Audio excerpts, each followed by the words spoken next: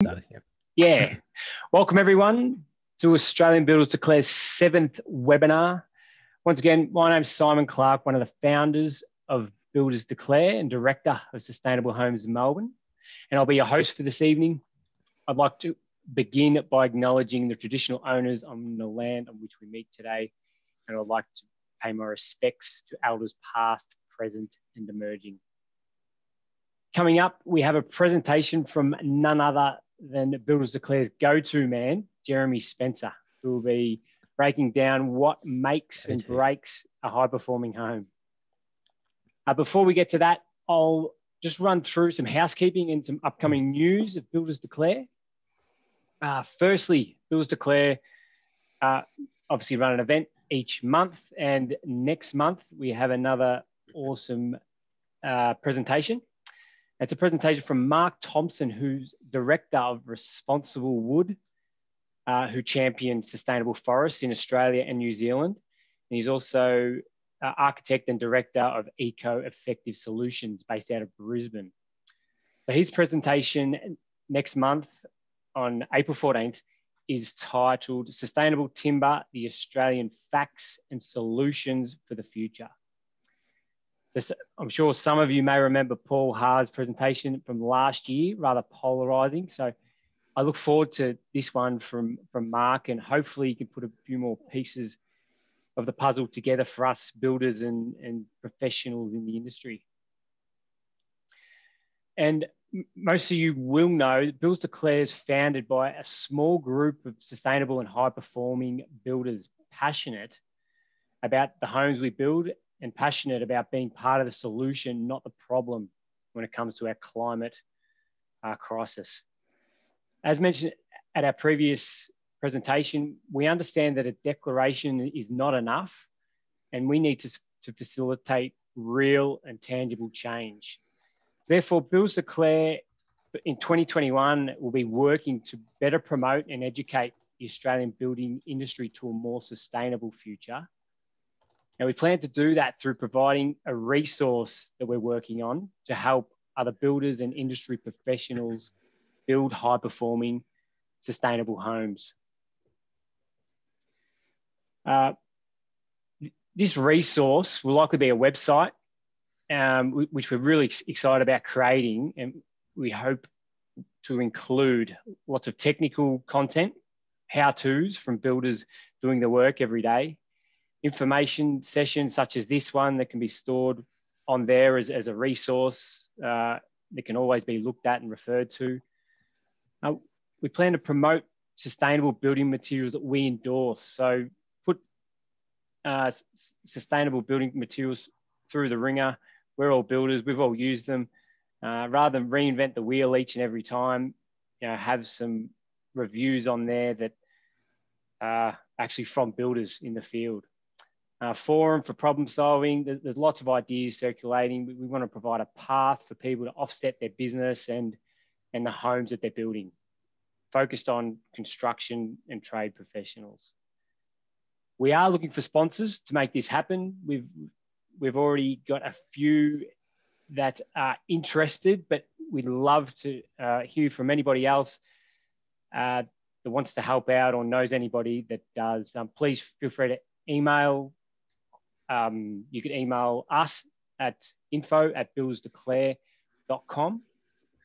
There's no AU on that. Or you could simply reply to the event um, email that you received here, and I'll be on the other end of that. So that would be great to hear from you. So let's kick off today's event. What makes and breaks a high performing home?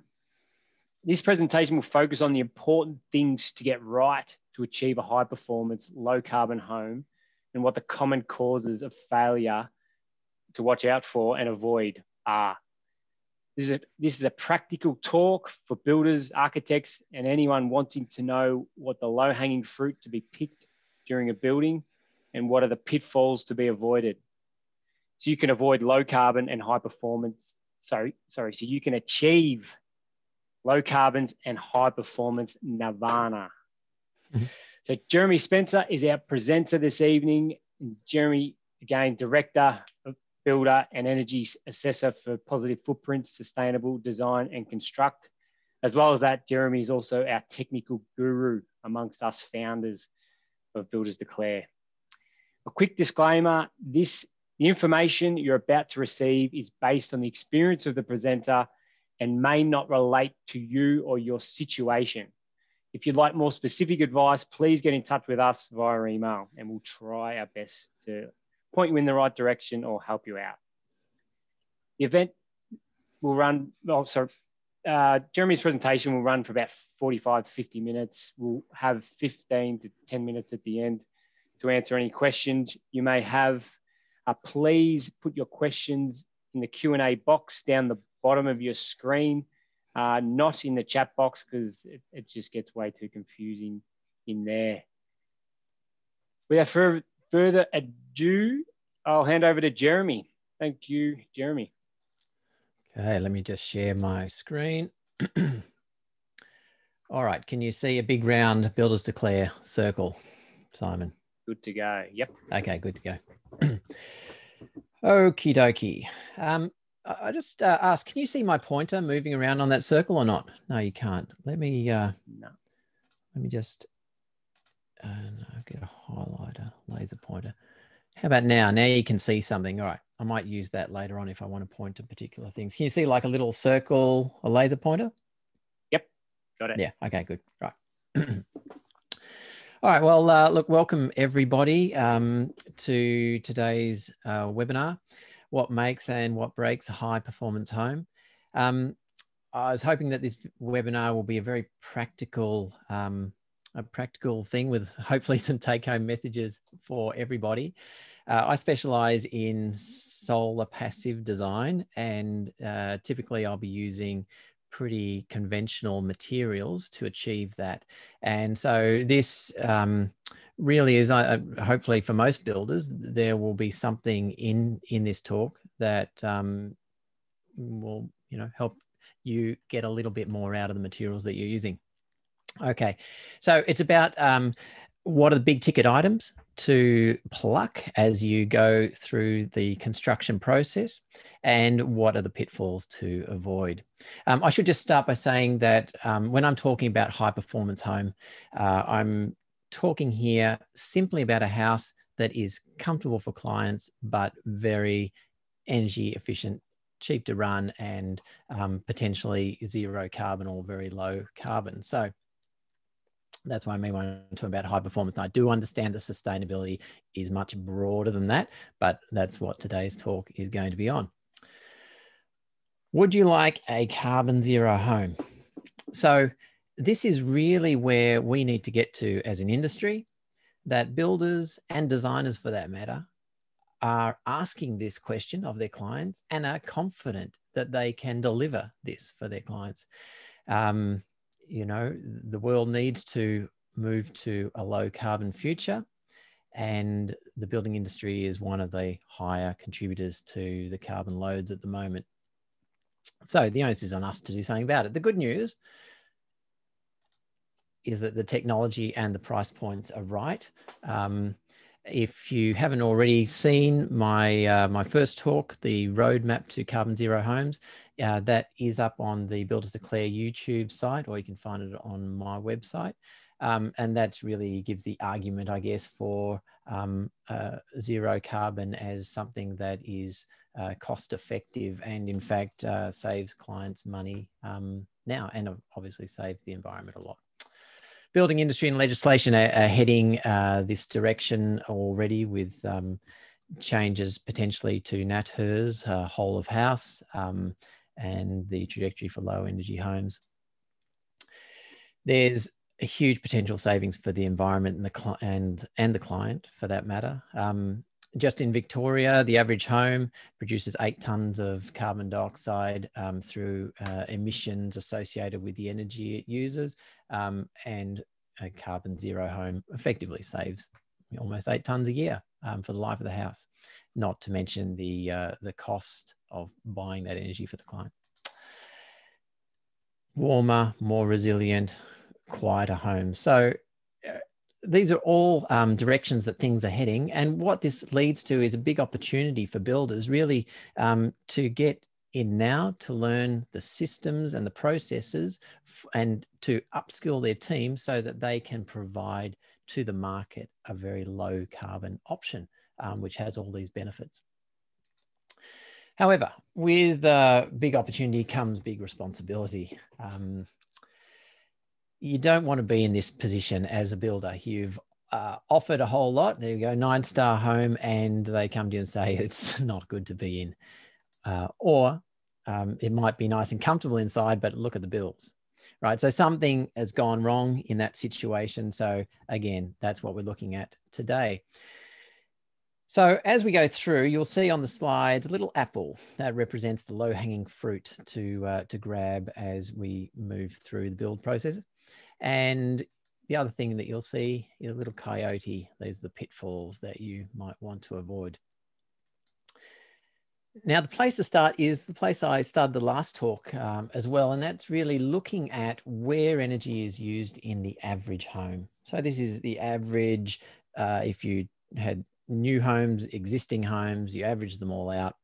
Um, this is the data that you get. And this comes from the residential baseline study in 2015 for Victoria.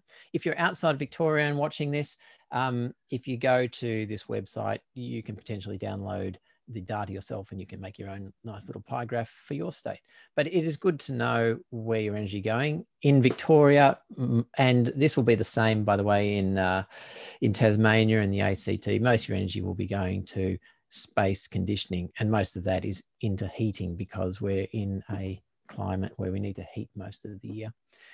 Um, and these other ones, water, appliances, and cooking, they're pretty um, static all through the states of Australia. A little bit of variation.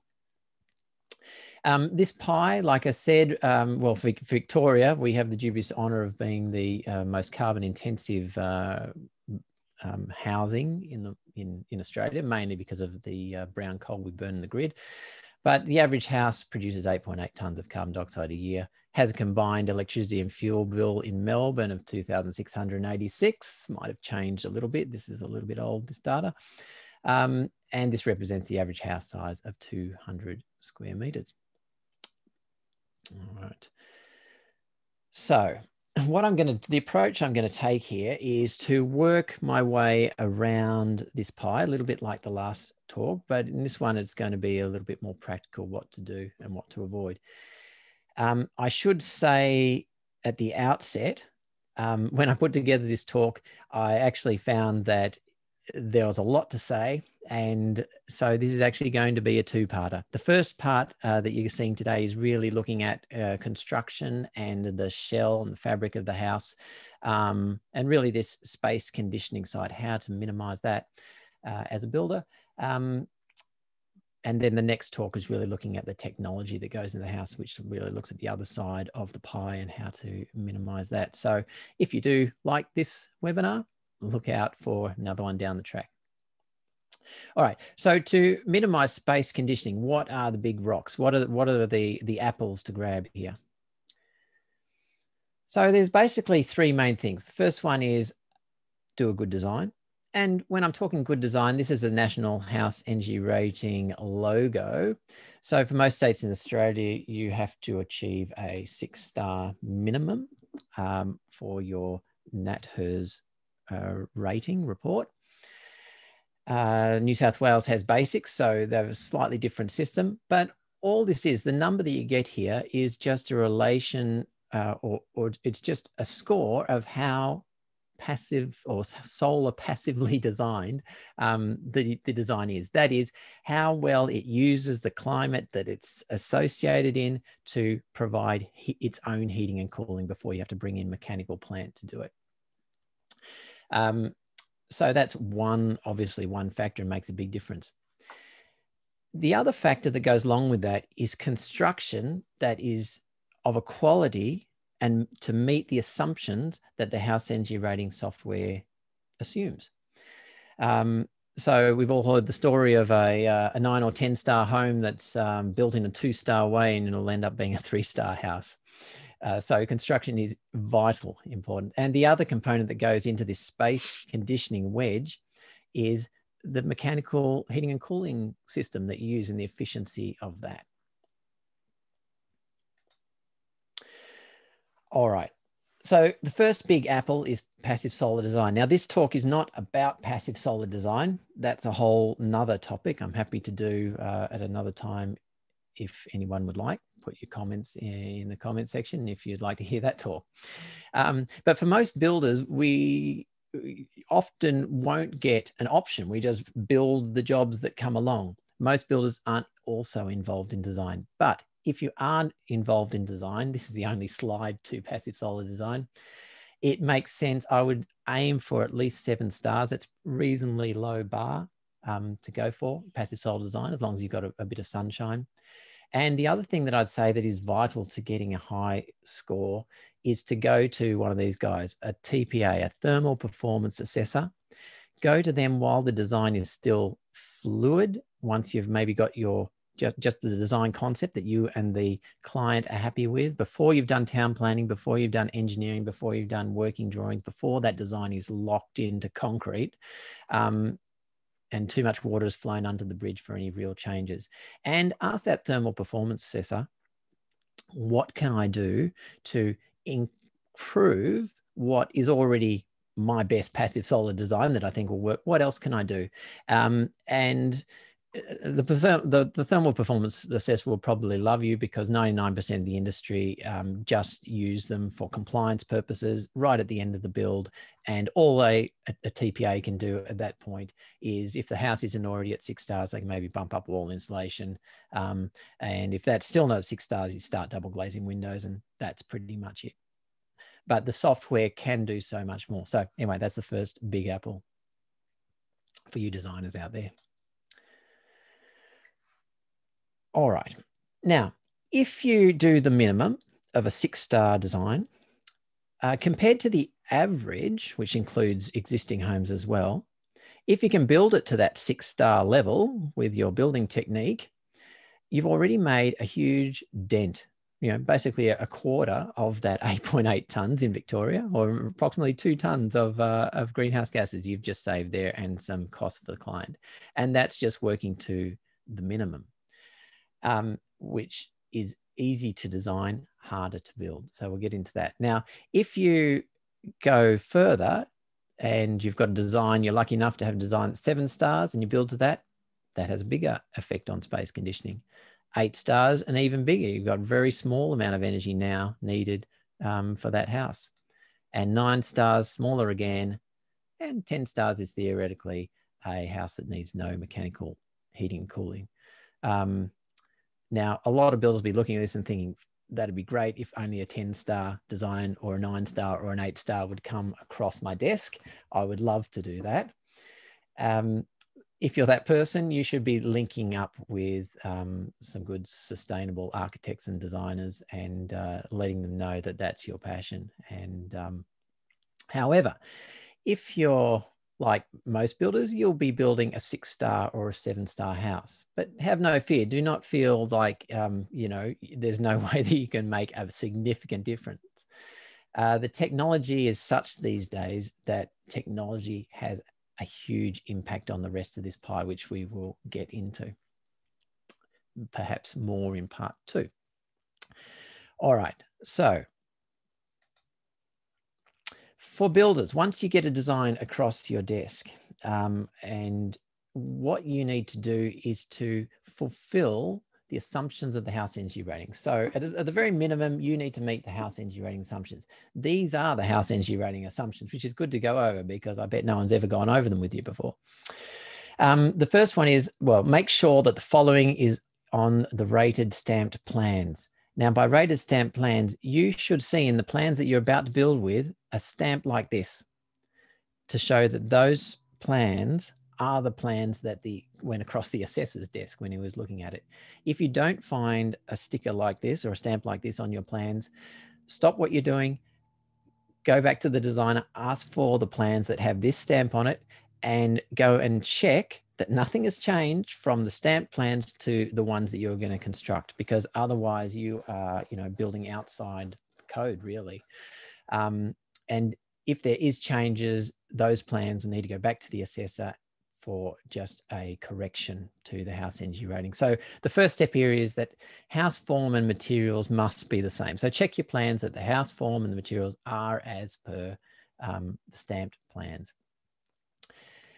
The next one is that the insulation is to the correct R. It's non-compressed throughout the build and it is complete. There are no gaps and cracks. So the house energy rating system uh, assumes basically perfect install there. Um, we all know that that rarely happens on site.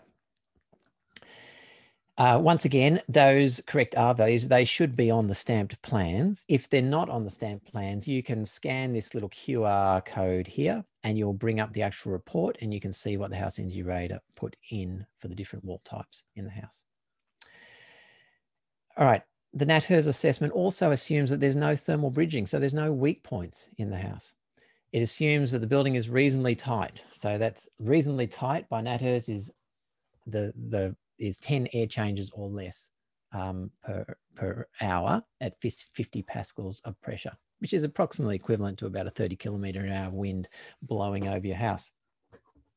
Now, I know um, those of you uh, who are listening who are into um, passive house construction will look at 10 air changes and say that that is a very easy bar to get under. Um, and the answer is yes, that is a very easy bar um, to get under. Unfortunately, as an industry, we are not on in general getting onto that. And I'll, I'll show you a graph a little bit later. Um, you've got to check that the windows are as per the energy rating report and that lights and extraction fans and the electrical plan is actually as per the stamped plan. That's this stamp on the plan. So when you, once you've checked that and you start your construction, the first apple, right, the first low hanging fruit is really to think about the thermal shell.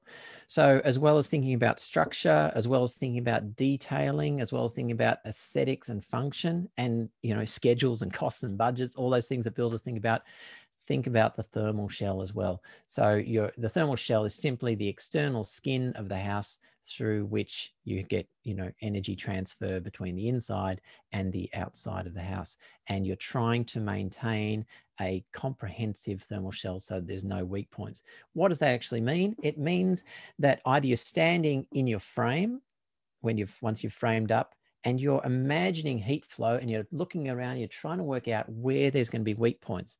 Or even better, you're doing that in your headspace when you're looking at your plans and your engineering and you're noticing, you know, yeah, the energy rating is called up an R4 batt. Is there actually enough space to put that R4 batt in with the engineering that uh, has been called up for this? You know, it's a 90 millimeter rafter. Can I get an R4 in that?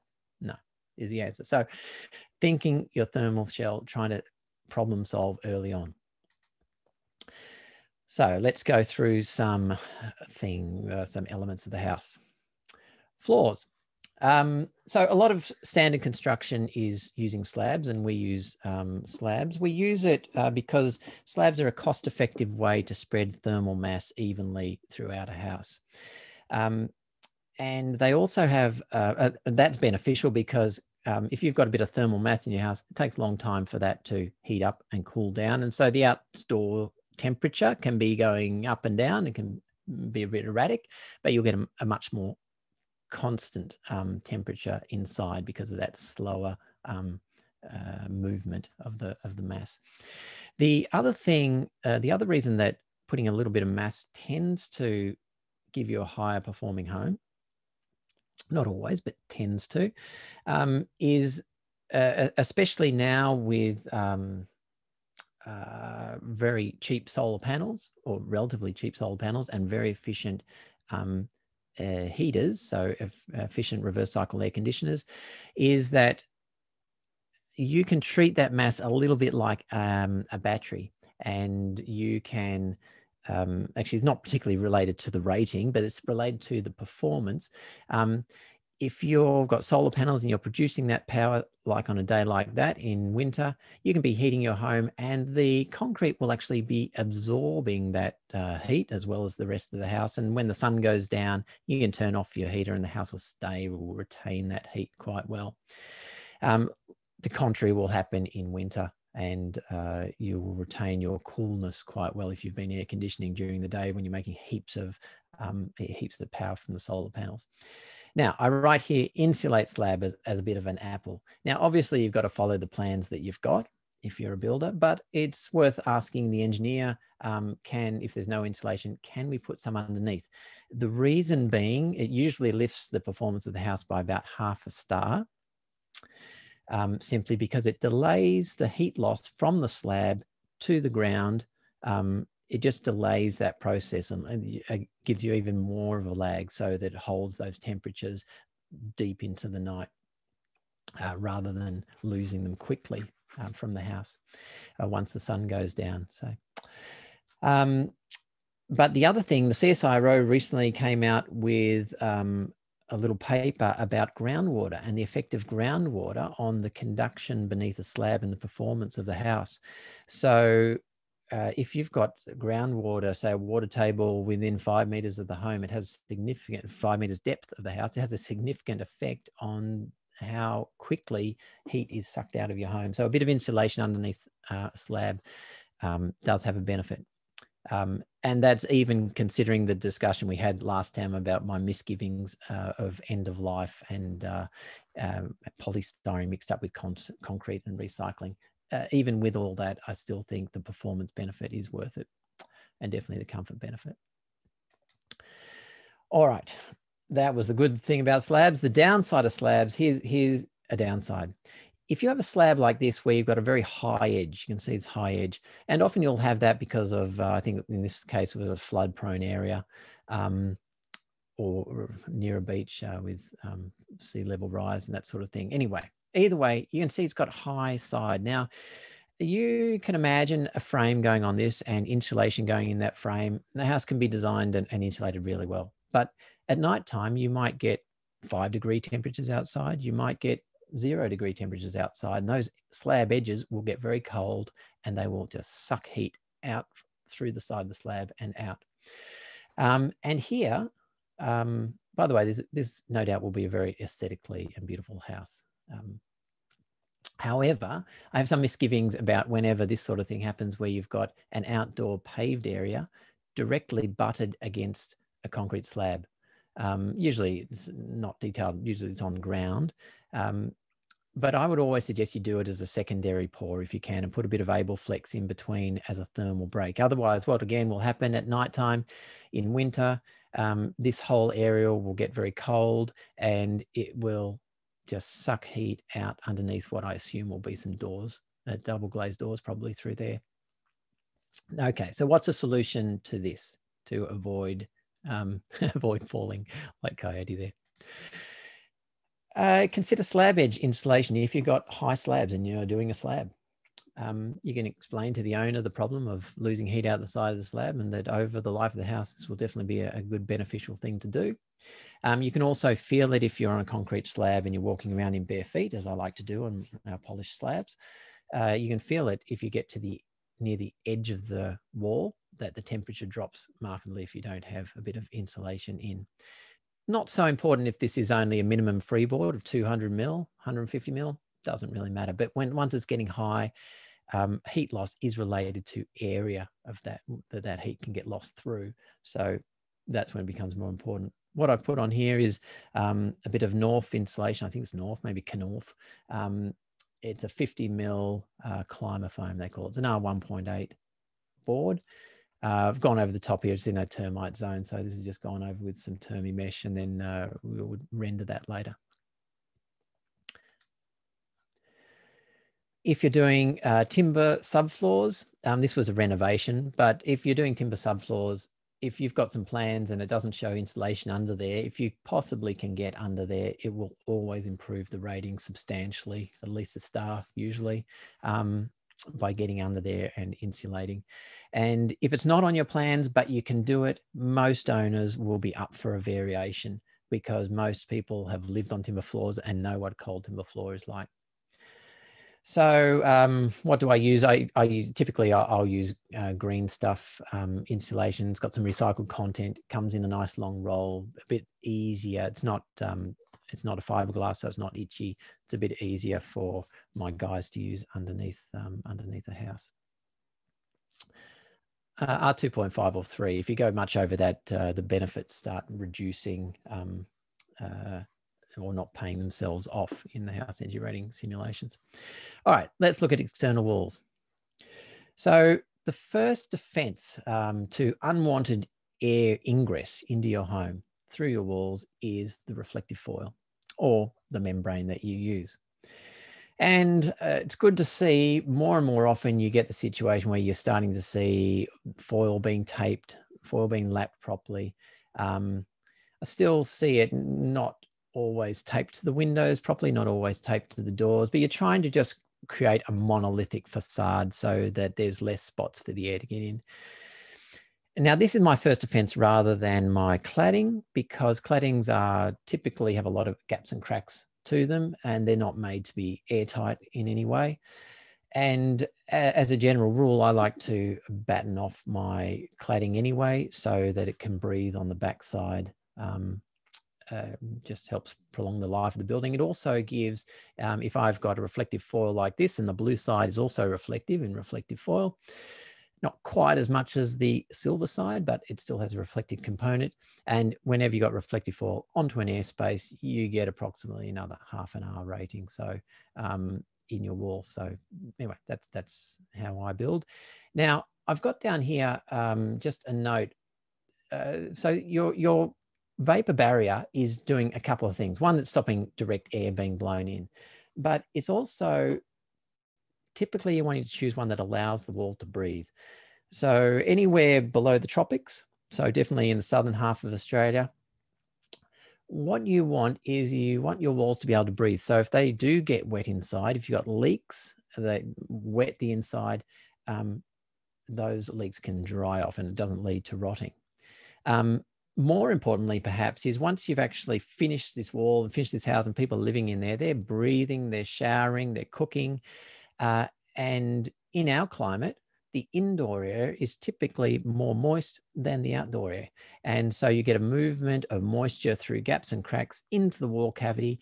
And partway through that wall cavity, what happens is the temperature of that moisture laden air uh, at, on nighttime in winter, it'll get colder and colder and colder, and often can get to a point where it's condensed down and you get a dew point and the water condenses out and you get dripping inside your cavity. So you want a facility for those walls to um, breathe on and allow that humid air through. And if they do get wet, that they allow once the sun comes up the next day and the wall heats up, that that that moisture can evaporate um, evaporate away. Um, the other thing that membranes, some membranes are doing, they'll also have a water um, they'll also act as a water barrier. And potentially, if you're a clever builder, you could be starting construction on the inside, maybe um, before you even finish your cladding because you're working uh, with a water barrier.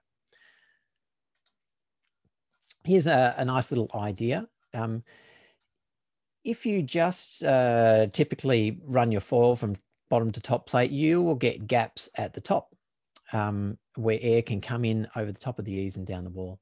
So this is just a little idea of running a starter strip. Yeah, you can see a picture of it here. Um, that can just be put on as you're doing the framing. Later on, once the framing's done, you can then, you know, stick to that or, or use that as a start and that sort of closes that gapping up the top. I do want to point out here um, where I'm circling at the moment, this detail is wrong. You should always make sure your upper upper foil is lapped over the outside of your lower foil in tape in case the tape breaks over time. Um, I'm also a little bit dubious uh, about this particular detail going in underneath the wall. Definitely don't do that if you have a slab. Um, yes, not good, but I wouldn't know. All right, uh, next slide. So that's the first part of the barrier. Um, the next part in your walls to get right to build um, a high performance home, or at least a home that is performing to the star rating, is to put insulation in in a non-compressed manner to the right R value. And if you look at this wall, this looks lovely, but uh, the builders out there will be noticing that the, the studs are very uneven, obviously carrying different loads or picking up um, uh, claddings or whatever on the outside. They're not running at easy 450 centers. Each one of these batts has been cut to fit. right? So they haven't just been jammed in and compressed in that process.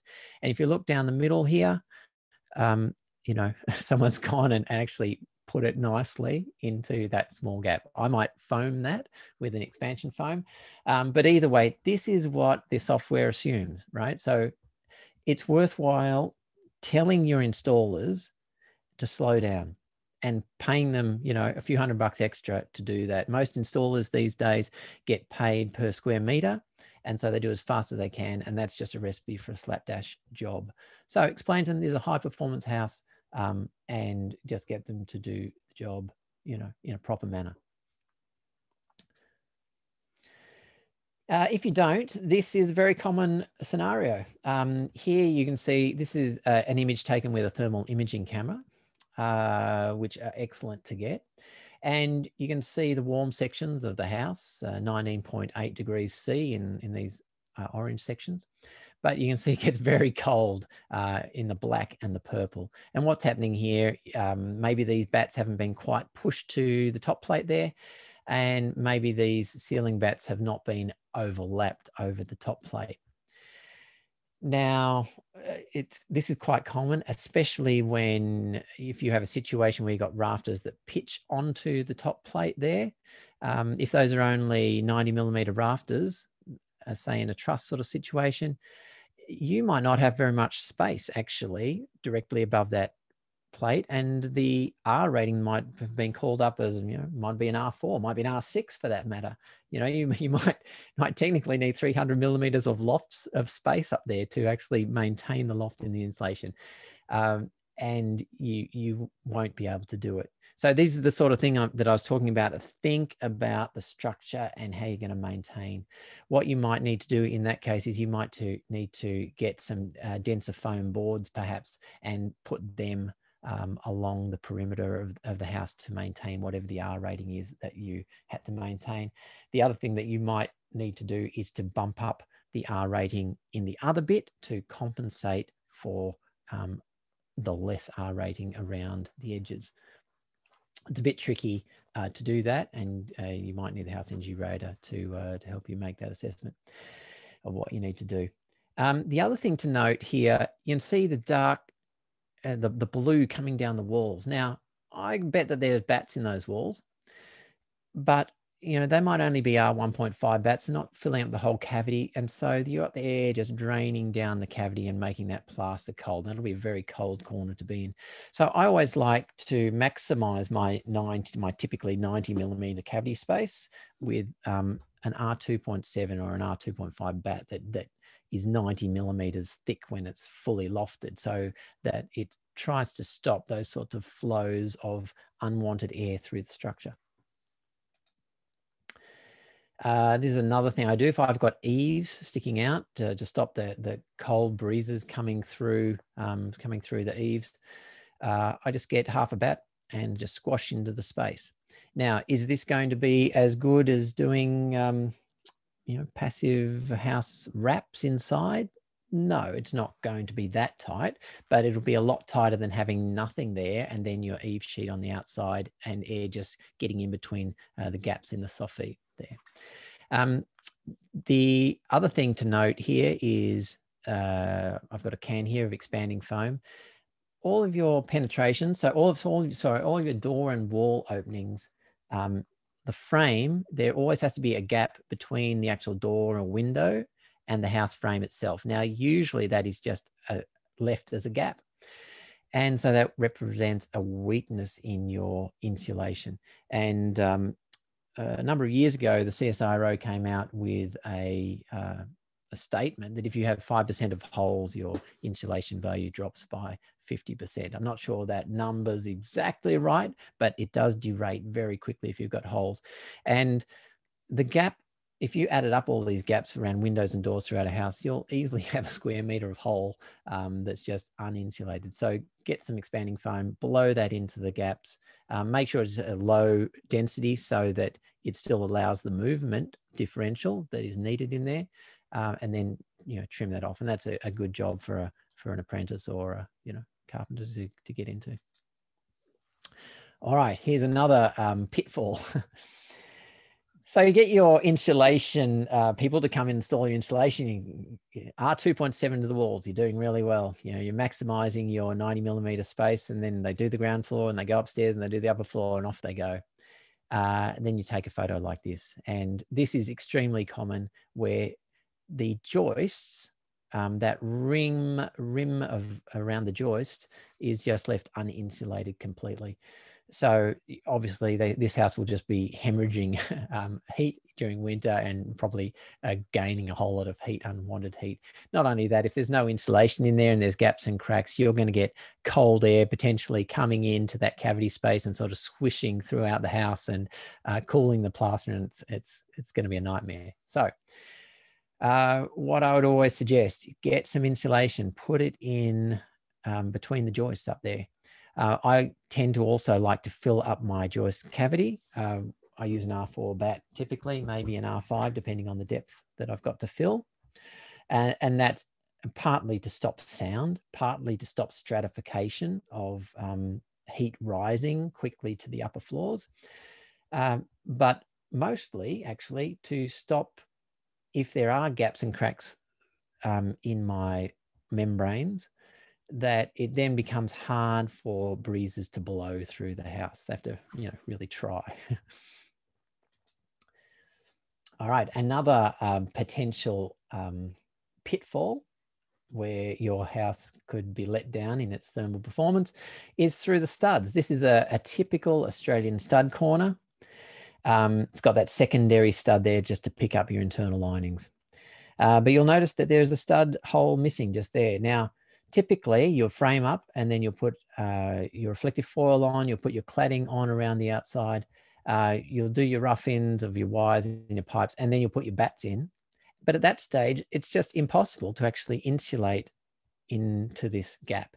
And uh, actually, in practice, often you will see a gap. It won't be quite as tight as that. You actually see a physical gap into there, and you wish you could insulate in, but you can't. And you'll just get potential breezes blowing in through there instead.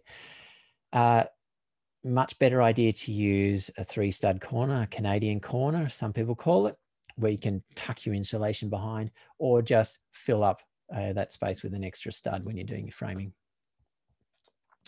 Another typical weak point that I'm always having to induct my insulation installers about, because they always send somebody different to, uh, to install, is PowerPoints. Electricians do not need holes cut out behind PowerPoints. Um, I've checked this with a couple of electricians. It makes it a little bit easier for them to do their wiring, but there's no need to do that. And it's definitely a bad thing, especially on external walls. Uh, with a gap like this, this should probably be foam filled as well. So just make sure you induct your, um, you know, your insulation installers that they don't need to do that practice. Uh, having said that, if you're dealing, sorry, if you're dealing with old wiring, the black stuff, that stuff can overheat. So if it's a really old house, um, you know, check with an electrician before you go ahead with that. But uh, as far as I'm aware, the white cable is fine to have in contact with um, insulation. All right, uh, in a roof space, uh, this is another spot of potential leakage. Um, here we have uh, a skylight with um, plaster shaft, but we've insulated around it. But if we'd just left that as plaster, the roof space gets really cold, it gets really hot. It would warm or cool that plaster and that would pass on and down into the house below. So make sure you insulate with the ceiling insulation, your, um, your skylights. Likewise, if you have a roof, uh, a, a, little dummy wall or a dwarf wall into a roof space, you should run whatever you use for the roof insulation, that should go up that wall, up through the rafters.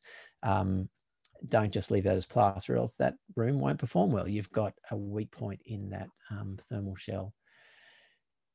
Uh, this is a manhole. Make sure you insulate manholes. Don't just leave it as a cut piece of plaster that can just slide around there. And also put a little bit of weather stripping around the gasket there so it's a nice tight join. All these little things add up. Uh, this is a typical bugbear um, of mine, though things are starting to change. So th this is a roof, and this is very typical, uh, roof with downlights. You can just see the, the, the round circles. Um, those are downlights. Now, in the past, at least, to install downlights, uh, electricians were required with halogen downlights to remove insulation from around those downlights um, by 50 mil. But of course, no one measures and cuts. What they do is they'll do their cutout, they'll reach their hand up into the cavity, they will grab and then they'll pull. And as you can see, you can quite easily pull out almost half a batt uh, doing that process. It means you won't have a fire, which is good, but it completely ruins your insulation to that roof space. Luckily, the fashion has changed, and I really recommend pendant lights that hang down. You need a lot less of them to light up the same space. You have a very small hole where the wire comes through, and uh, you can run your insulation straight over. If you have a plan though, and it has downlights in it, and the owners don't want to change, talk to them about it. But if they don't want to change, then make sure you use a downlight with an LED downlight, first of all, with an IC or an ICF rated um, downlight which says abutted and covered or has a symbol like this to show that you can have insulation over the top of it. And then also induct your electrician that don't pull out, you know, um, don't don't go and pull insulation. Of course, you, you might have to really help them or make sure when you're doing the plastering that you pull the wires out um, on the right side of that insulation and that it's easy for the electrician to get the wire if you want them not to muck around with your insulation. This is another common pitfall area. This is all standard standard construction, which I'm sure everyone's very familiar with who, who builds in standard ways. But if I've got, say, there's a flat frame ceiling, there's my 190 rafter maybe, maybe it's 240. Uh, typically I'll probably put an R4 batt in there and I've got an R1.8 building blanket on top of that. So what's that? 5.8 R of insulation. So pretty well insulated. But look, you come along here to where the box gutter is and you don't have as much space. Now, either you compress the insulation down, in which case it's no longer achieving its R4 uh, status, or once again, you're looking at um, a denser product, you might use a, a, dense wall batt or a couple of layers of R2.7 or something might fit in there into that space. But these are the things you should be thinking about when you're thinking about your structure. Here's another image from my uh, thermal camera. This is before plaster's gone up, by the way, so you're not magically seeing through the plaster here and the insulation.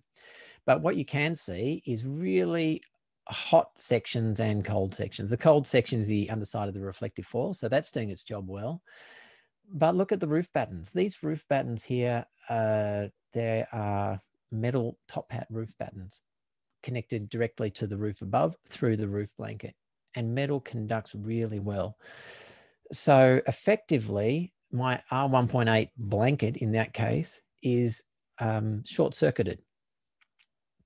Uh, I mean, I still, if this was my job, uh, I would still have an R4 batt in there. So we've still got plenty of insulation. But um, this, once I saw a picture like this, I've just made sure that we always use timber roof battens just to get um, away from steel because steel conducts 10,000 times better than timber.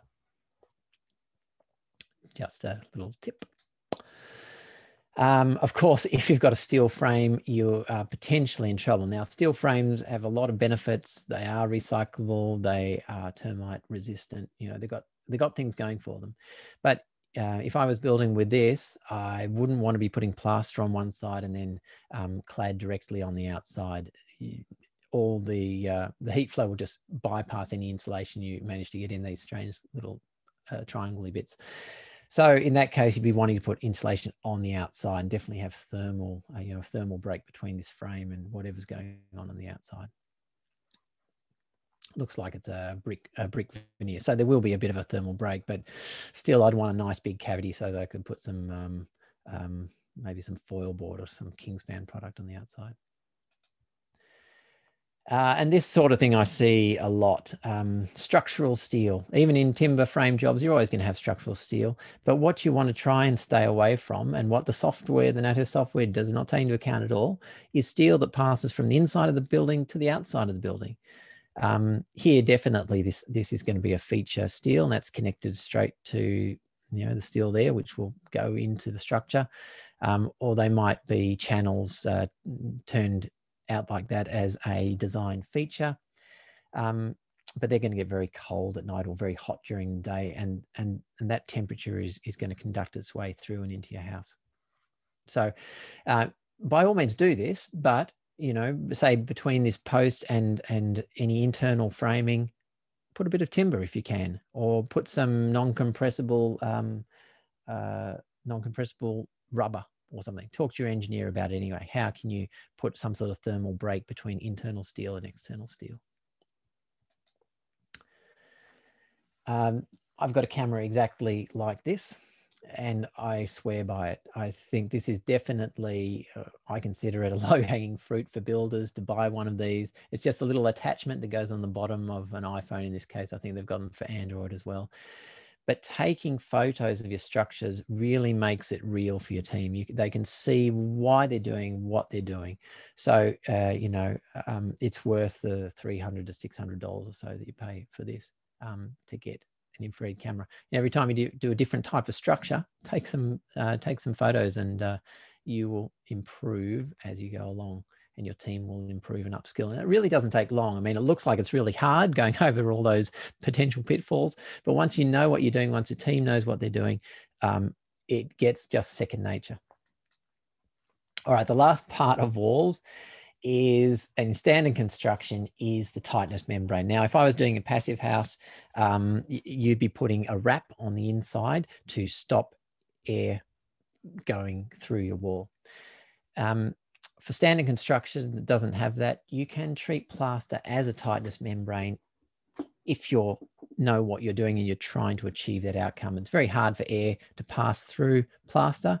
It does diffuse through slowly, but once you paint that with three layers of acrylic, it's pretty much a, a really good air barrier.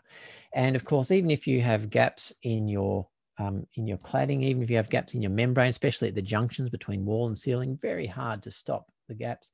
If you have insulated your space as well and you have a very tight plaster, there's nowhere for air to come through. So if there's no path for air to come through or less path for air to come through, um, the air's not going to come through.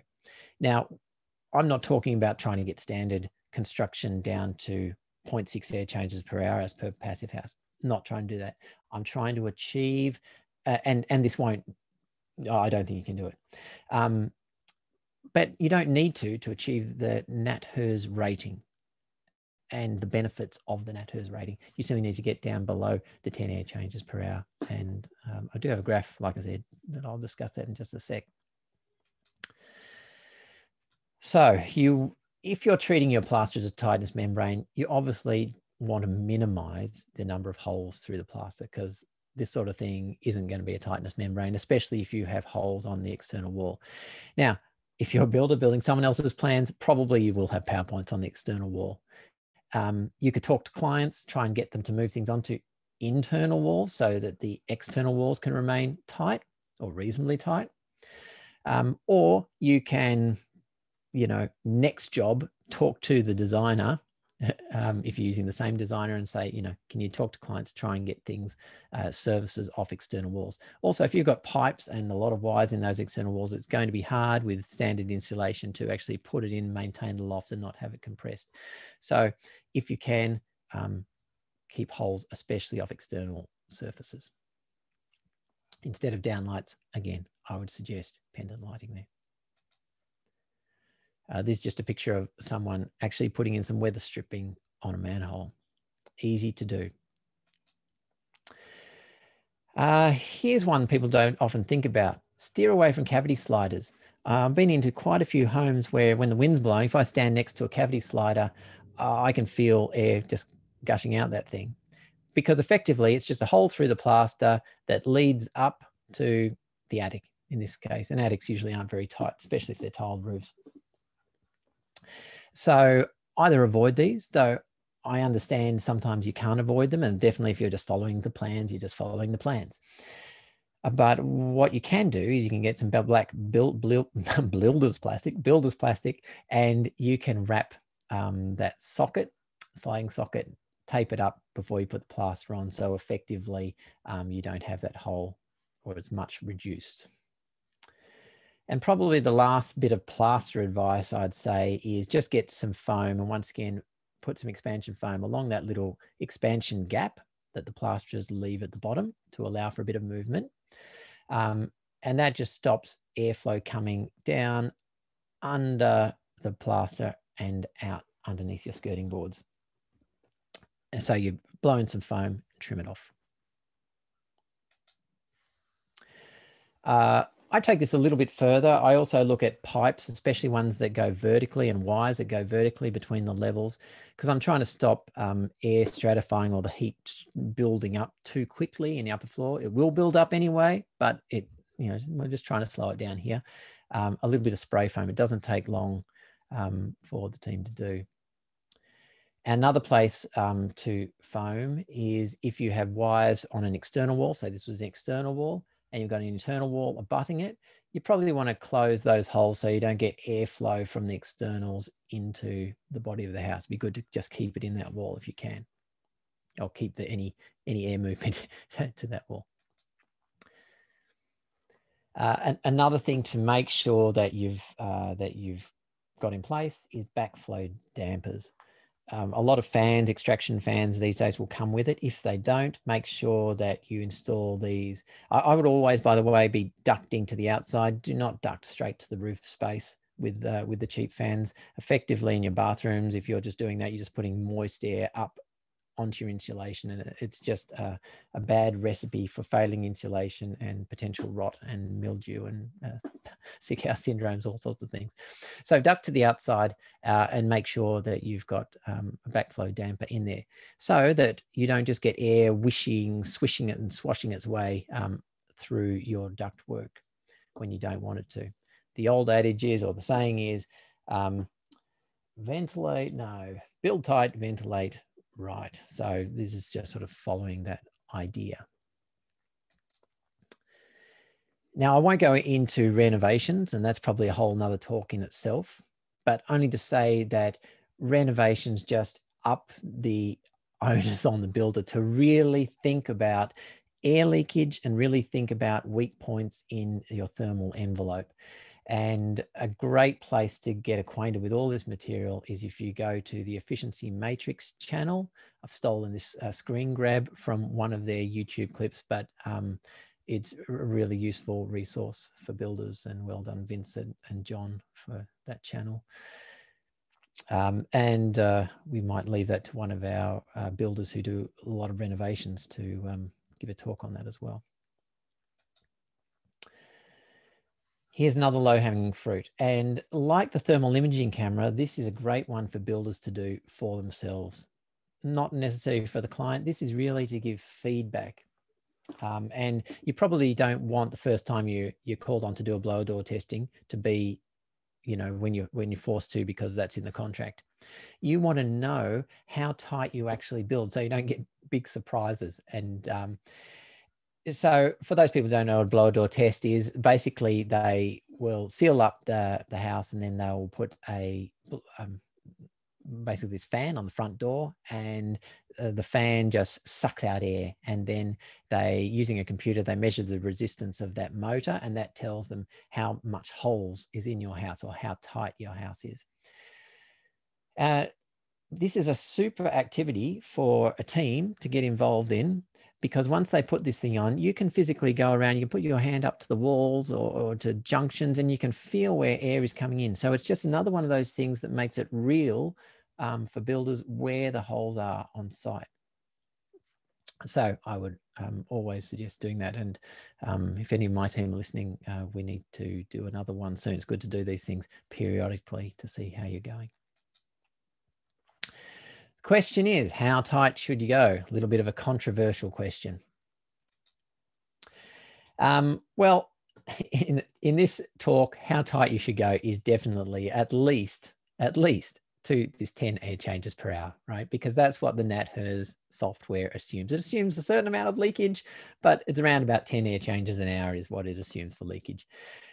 Now, the CSIRO um, did some testing of this uh, on new home construction um, in 2016, and they tested 20 homes in Melbourne and um, I think the same number in other capital cities around Australia. They found some places like Tasmania did actually pretty well. places like Melbourne did not do particularly well. And of the 20 homes they tested, uh, I think one um, actually complied. So this is really showing a big underlying non-compliance issue in the industry. So there's a lot of tightening that we need to do with our standard construction. So this knowledge just needs to get out there. When I do uh, done testing, I'm somewhere around this five air changes per hour, just using standard um, building materials. And I'm sort of seeing this five to 10 as some sort of sweet spot if you know what you're doing to, uh, to aim for. Of course, um, I can see very much the attraction for Passive House uh, with its air change down here of uh, 0.6 air changes per hour, especially for designs and architects. Um, they don't know necessarily know who the builder is. Um, the good thing about passive house is that you know part of the routine is to test at the end and to use these membranes. So you're very likely to get um, very tight structures. Maybe you won't get the 0.6 but you might be up at you know one maybe two if you didn't do a great job. Um, however so that's very tight. You're going to be losing you know less heat exchange. That's a good thing. Um, however if it goes too tight you run into safety issues potentially. Um, passive house account for this, so don't throw up your arms yet.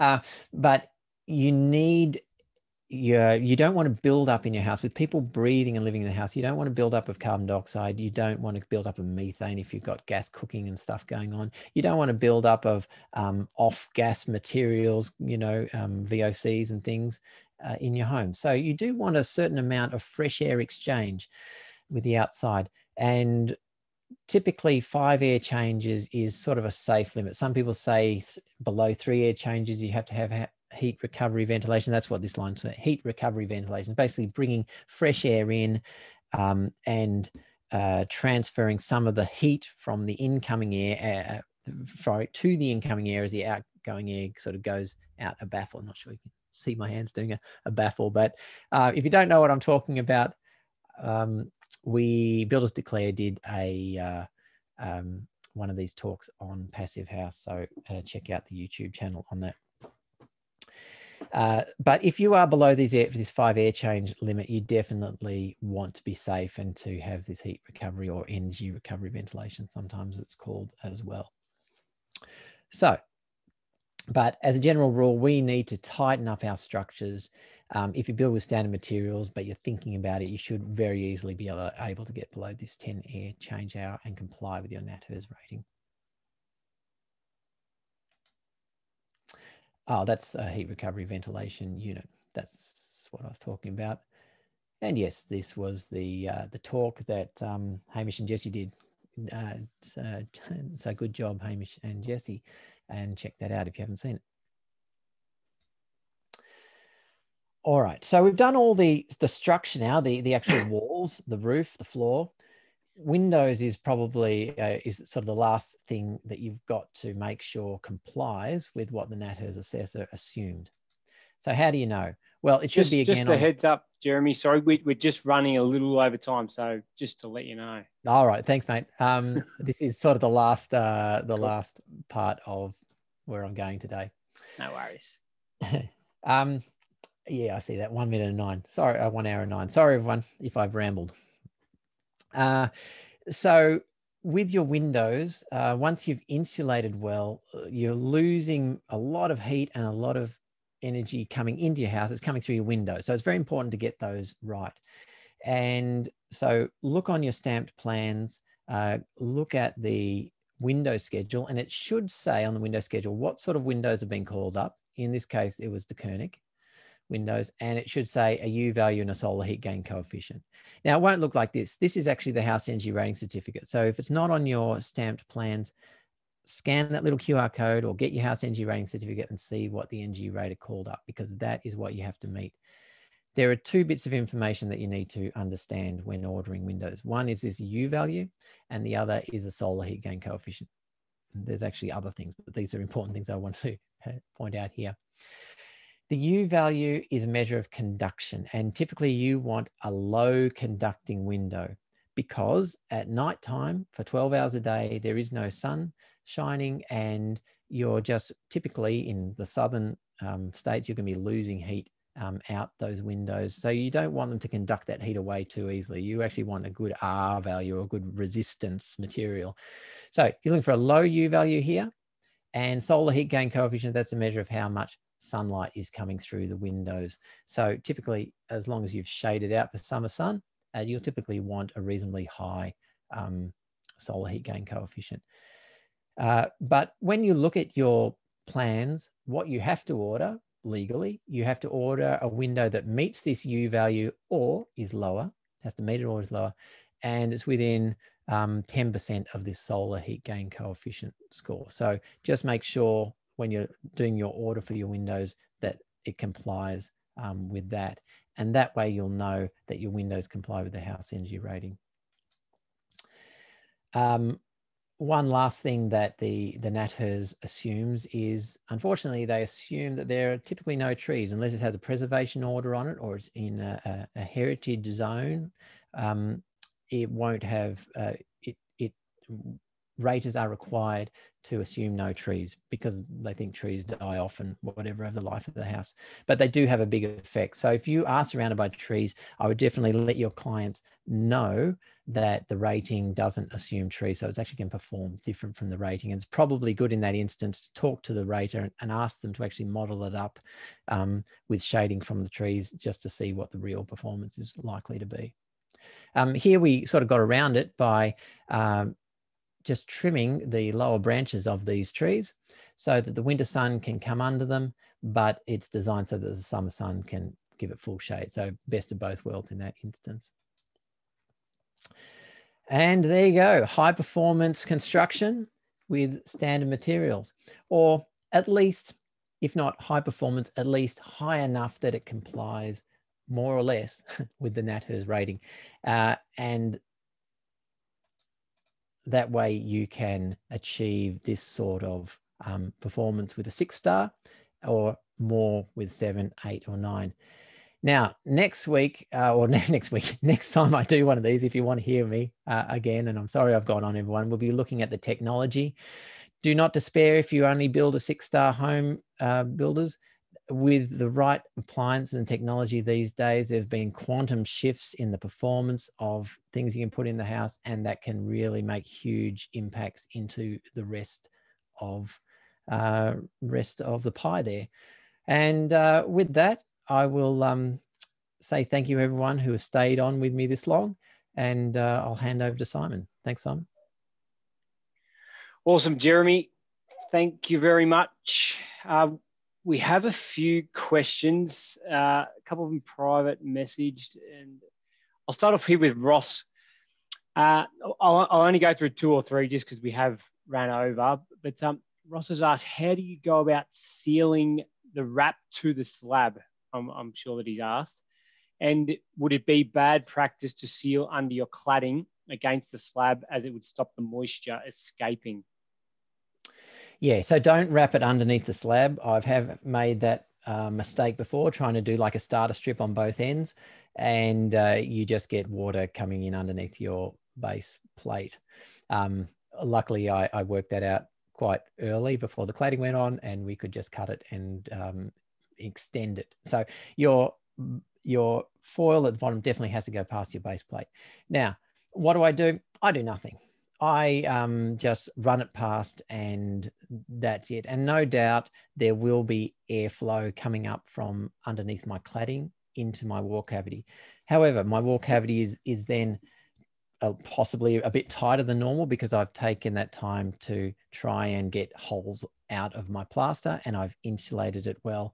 And um, so it's not that you have to be 100% to achieve good outcomes. I really want to get that across. But you need to understand where weak points are and how tight you need to go to achieve the NatHERS rating. Perfect. Does that sort of answer it? Yeah. Yeah, I think so.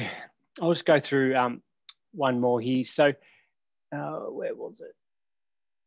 Um, do waffle pods act uh, as insulation? Someone yes. Yeah, yeah, they do. Um, so waffle pods, because uh, I think he's asking because waffle pods have every they're 110 millimeters wide, and then they have a 110 millimeter um, uh, bit of concrete, and it's sort of in this waffle shape. Do they actually act as insulation? So yes, there's conduction zones between the pods, and then you go to a pod with very good insulation, then a conduction zone. But what the software does, it, it works it out over the whole floor level of what the insulation value of those pods is. So the pod itself might have, you know, 300 mil of polystyrene and some air gaps. You know, it it might very easily be you know, an R4 or something. Um, but once you take into account there's bits without any pod in it that go down to soil level, over the whole floor, it goes down to an R0.7 um, typically for a 300 mil pod. Got you, got you. One more has just popped up. Uh, what do you think about insulating internal walls? Uh, I think it's really great for sound. I think it's also good for stopping uh, any un- naughty, unwanted um, air leakage that somehow got into your framing system. And it's also good if you've got a cold room, say definitely a garage, you have to insulate off, um, or a, a, bathroom or some area that you're maybe not uh, always centrally heating. If there's a different heat profile in a different space, that should be insulated in between. Beautiful. Well answered. Pleasure. Thank you, Jeremy. I I think we'll get you back for part two. See how that goes. There's plenty of wisdom there. Thanks, so thank you again, everyone that stuck around. Plenty of knowledge there. Hope it helps. Uh, we'll be back. Builders Declare will be back on April 14th with a presentation from Mark Thompson on sustainable timber, the Australian facts and solutions for the future. Uh, if you want to find out more about Builders Declare, you can email info at buildersdeclare.com. Check out our website, au.buildersdeclare.com. Uh, you can join us on, we've got a Facebook page, Facebook group, Instagram. We're everywhere where uh, people are at the moment these days. So thanks again, everyone, and look forward to seeing you next time. Thanks, Jeremy. Thanks, Simon. Thanks, everybody.